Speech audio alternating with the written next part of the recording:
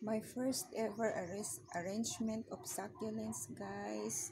So very nice. I have here the big one, the big one, and yeah, so nice to see. Yun, so nice.